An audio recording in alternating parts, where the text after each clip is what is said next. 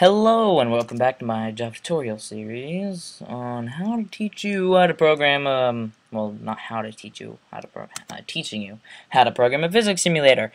Um, if or if you weren't um, here last time, I hope you were, we finished actually making the free body diagram, so we can add um, gravity and, you know, set its angle and set how long it is it'll draw that proportionate to its size and stuff, and go us. Now today is what to do if we have, let's say, two, more than one force acting on the object, and we wanted to know the net, the resultant vector. So if you have one force going this way and one force going this way, it's obviously going to go in between them, the resultant vector.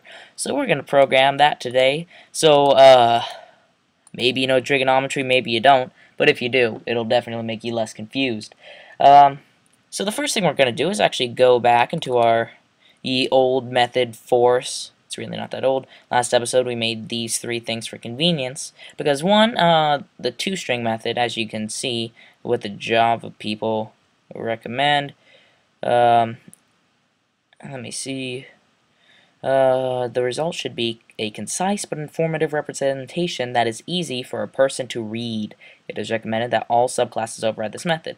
So it seems as we automatically extend force, even though we don't, all classes automatically extend force. I mean object. Force extends object. That's why it's overridden.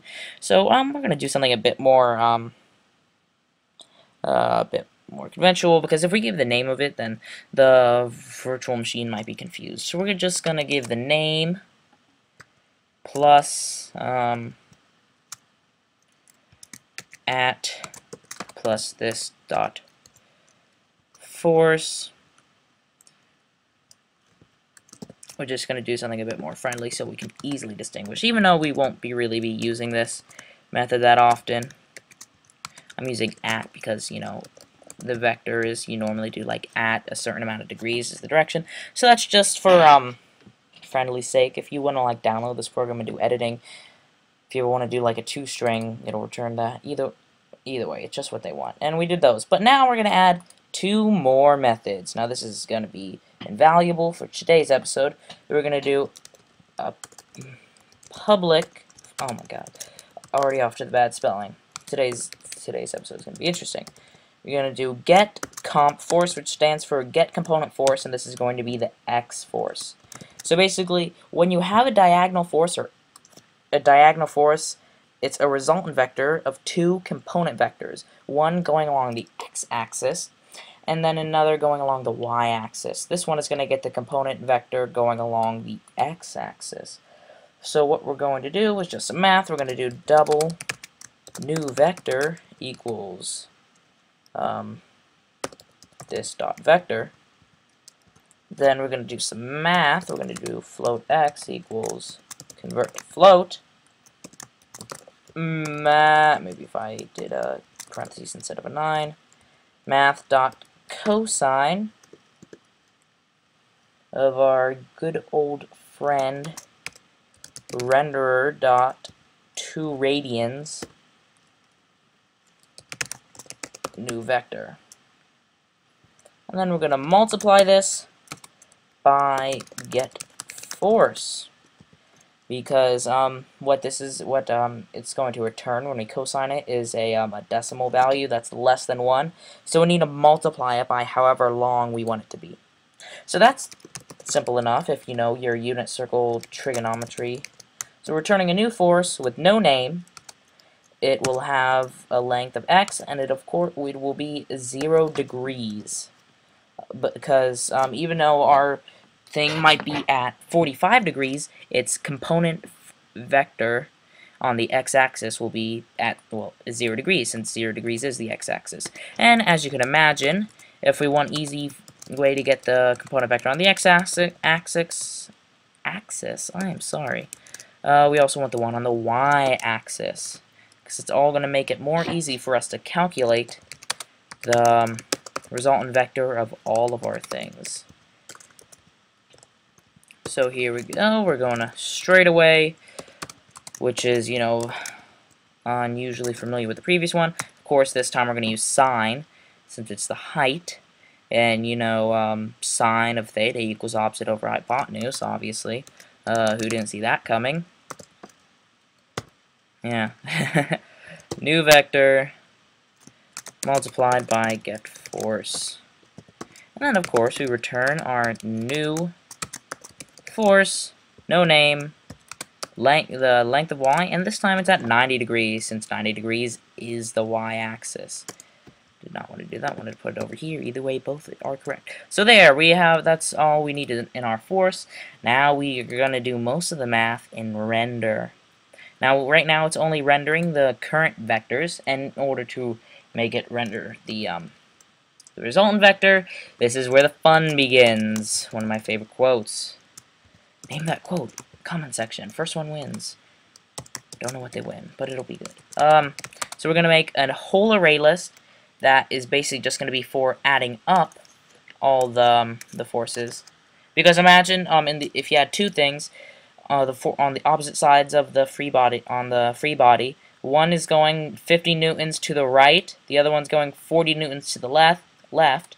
Basically, you add those, which will be 50 plus negative 40 this way, which is going to be positive 10. Positive is going to be to the right, negative to the left, so that means the net force will be 10 newtons this way. But we'll get into that more when we get into the math. Diamond notation, so we don't have to write out force again. I mean, come on, is that a long word or what? Really isn't. Uh, then we do the same for y. It's mainly just a lot of uh, similar things between them. And then we do, then we do declare some doubles. Net force x equals 0, obviously, and then net force y, well, of course, always equals 0. I mean, it won't always equal 0. Uh, also at the top, we want to do a, not that, a public static double net force. As well, we want it to equal 0 just so we don't get any problems. And then we'll also get our net vector to equal 0, and we'll just separate these out a bit so it looks a little less gay. Um, So along those lines, now that we have those set up, now we can actually start assigning the values. Uh, for integer i equals, of course, 0. i this time will be less than force array dot size. And here we go. Now we're going to do x comp. x comp. Uh, we're going to add force array dot get i dot get component force x. And likewise for this one over here force array dot get i oh get i dot get component force y. The resemblance is amazing is it not? So now we're just going to do net force x plus equals, since we're just adding them all together, the forces, that is, dot get I, not you, what the hell is you? That sounded weird. What the hell is you? Sounds insulting. Um, then we'll get I again, and then we'll just get force. There we go, that's all we need to put in there. Now we start doing some real math. Net force equals, now we're just doing the Pythagorean theorem to um, find the, we're doing the Pythagorean theorem just so we can find the hypotenuse, because the hypotenuse will be the length of our resultant vector. We'll do something else to get the degrees. So we'll do math, math.power, our first value will be net force x, and it'll be to the power of 2. And we're going to add that to math.power. And this time it's going to be net force y as well to the power of 2. Okay. Now we'll do net, now we're going to find the net vector, and that's equals, we have to convert 2 degrees, because right now we're going to do math.arcsine, which is basically the inverse of sine. Since, you know, if you solve for the equation sine of theta equals opposite over hypotenuse, that means arcsine of opposite hypotenuse equals theta. And what we're getting is theta, which is also the net vector. And since we put a radian in as the parameter, we'll get a radian out. And we need to convert that to degrees for humanity's sake. So we'll get the arc sine of net force y over net force. Because that's opposite, which is the up and down one, over hypotenuse, because uh, net forces are hypotenuse, as we said in the previous line.